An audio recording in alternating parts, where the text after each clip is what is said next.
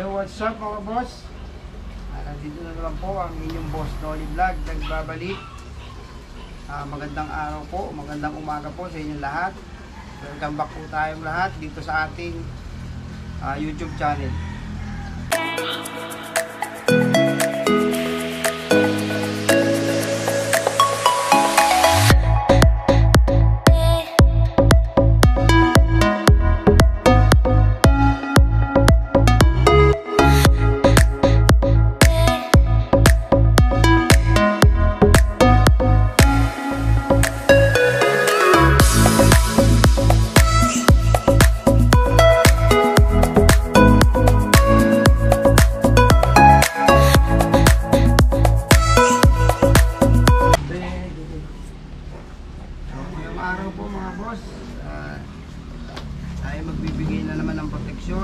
Sa ating mga alagang sisig.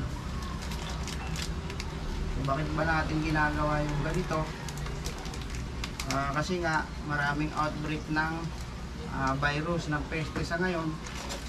So, kaya kinakailangan ah, unahan na natin sila.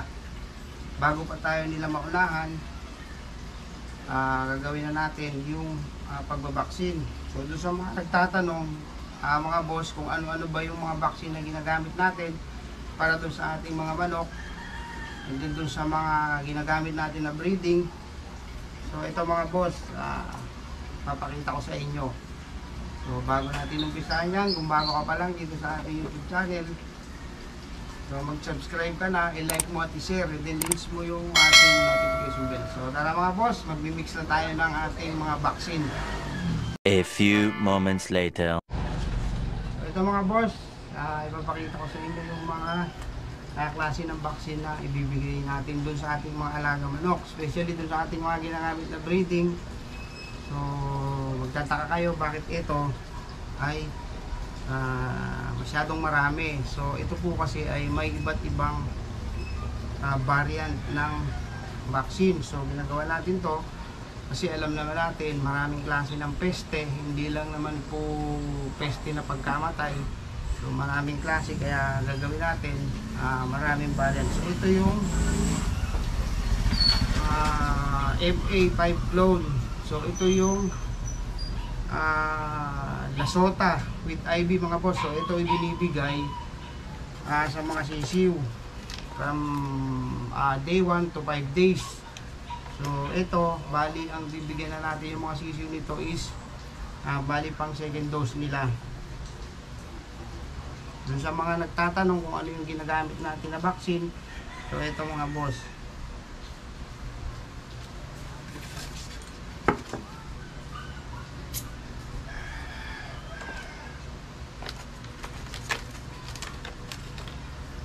So ito mga boss, ginagawa ito pag mix kinakailangan po pagka na-mix nyo na siya yung substance ay makonsume nyo sila within 2 hours.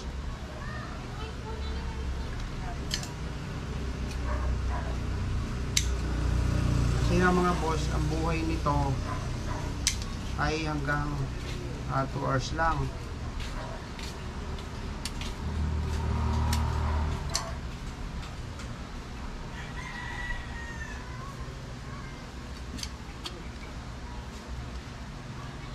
So, kailangan within 2 hours uh, makonsume nyo na sila.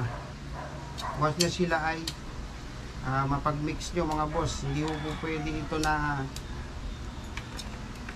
kapag po tayo ay may tira, itatago sa rep. So, wala na pong visa ito. After nito na gamitin, so kailangan nyo na silang uh, i-dispose.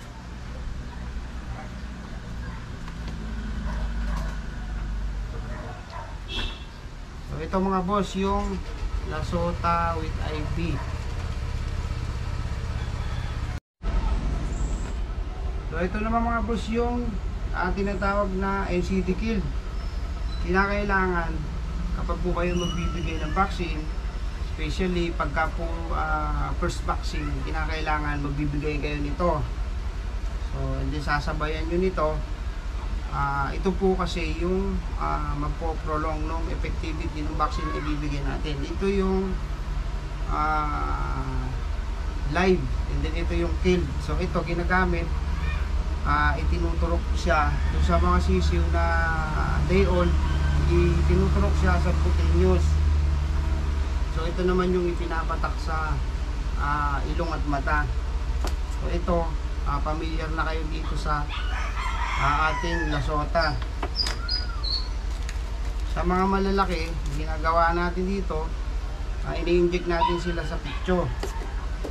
So, medyo may, may kamahalan nga lang ito mga boss dahil ito ay nagkakalaga ng 1,100 so sulit naman siya kasi ah, pwede nyo siyang ikip kasi dahil ito ay killed. Makukonsume nyo sila until na sila ay ma-expire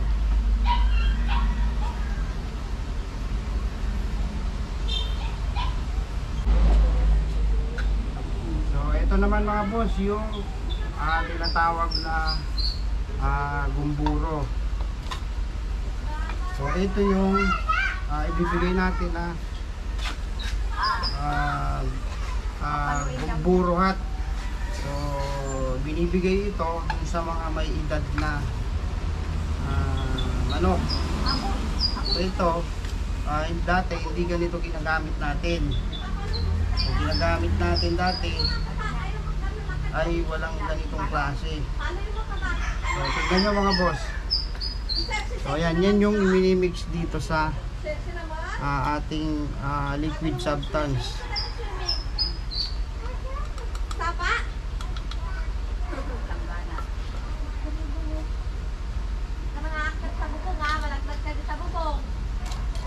So, ito mga boss, ah, magtataka kayo. Ah, bakit? Naku, ng kasi. ang daming klase ng vaccine na ibinibigay natin dun sa ating mga alagang manok. Kasi nga mga boss, ah, sa ating pong kasi, Ma! Parang sa tayo ng danas mo.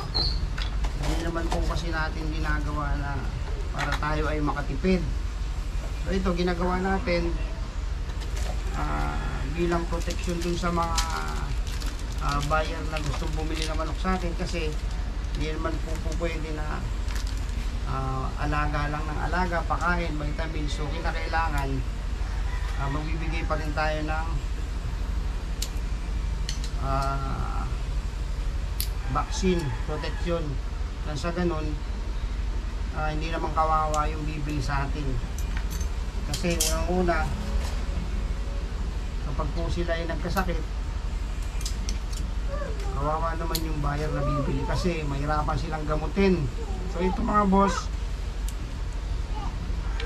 di naman po sinabi na 100% kapag ka binigyan mo ang, ang manok ng vaccine is full protection. So may tendency pa rin silang tamaan. Yun nga lang, mas madali po silang gamutin.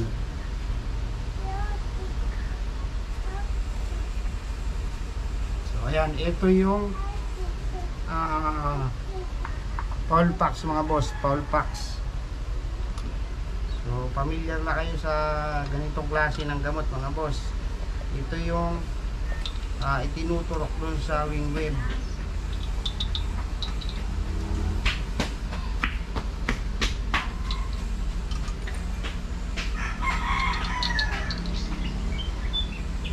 So nagtataka kayo mga boss kasi bakit masyadong marami tayong ah, vaccine na ginagamit. Ah, kasi nga mga boss marami tayong bibigyan ng bakuna. Hindi lang po isa, hindi lang po yung mga sisiw natin.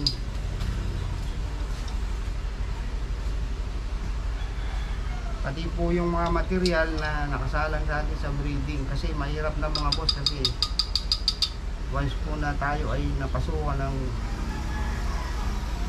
ah, virus kawawa naman po sila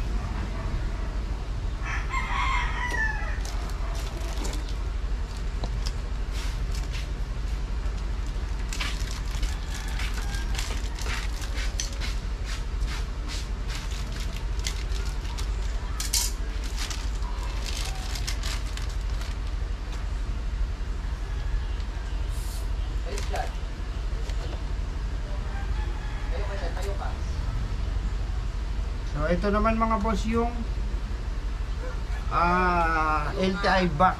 So ito yung pinakakasabay nung uh, Paulpax na ibibigay natin sa kanila. Kinakailangan kasi kapag nagbigay tayo ng uh, Abapax, kailangan may kasabay na LTI box. So ito po yung uh, in-advise sa atin nung vet na hiningan natin ng program. So makita nyo naman mga boss, hindi tayo nagtitipid. Hindi po kasi hindi po kasi ang goal natin dito ay makabenta lang. Kung tutusin, pwede natin gawin na tayo ay magtitipid. Pwede natin silang gawin na isang beses lang tayo magbabaksin and then ah, after nun uh, i-dispose na natin. So dito mga boss, hanggat hindi po natin sila napupuli vaccine, hindi po natin sila pinapakawalan. So ganyan po, ganyan po ako mag ah, dispose ng ah, mga kakiril. 2,000 years later. So ayun mga boss, ah, natapos na tayo magbigay ng vaccine. So lahat ng mga manok natin, binigyan natin.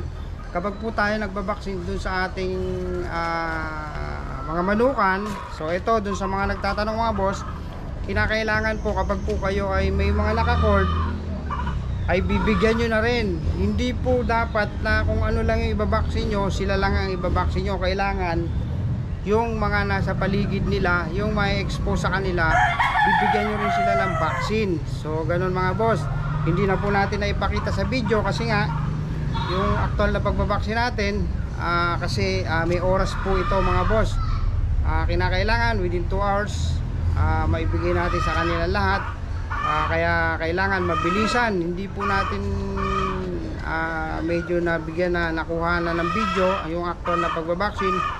Ah, pasensya na kayo mga boss. Pero dun sa mga gamot na ginagamit natin, so ayun, naipakita natin sa inyo.